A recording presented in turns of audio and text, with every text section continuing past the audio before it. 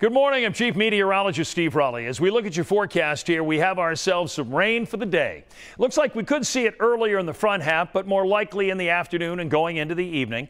Uh, we have got a cold front that is developing out to the northwest now. Here's the low that's spinning up there. Here's the cold air, and here it comes. Uh, cold air is going to be Arctic this go round, so enjoy the mild weather today. As we head into the weekend, the biggest thing about this will be the drop in temperatures. We're going to be struggling to get to freezing in a lot of areas, and the morning hours will be in the teens.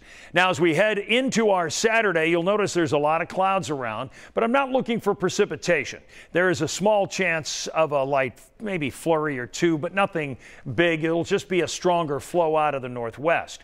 Now, Sunday's a different thing. On Super Bowl Sunday, it does look like a little package of moisture will spin around this big parent low, and because of that, we'll end up seeing a few snow showers, probably in the afternoon near the kickoff time and going into the evening. So just keep in mind uh, that uh, that's happening so that you don't get caught with a slick road after the game.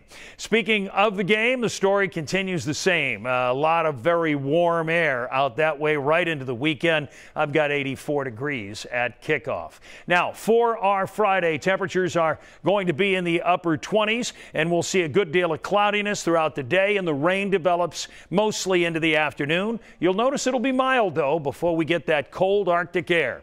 And you'll notice the drop off tomorrow. 33 degrees, then teens in the morning. On Super Bowl Sunday, just 31 in the forecast. And on Valentine's Day, it stays cold as well.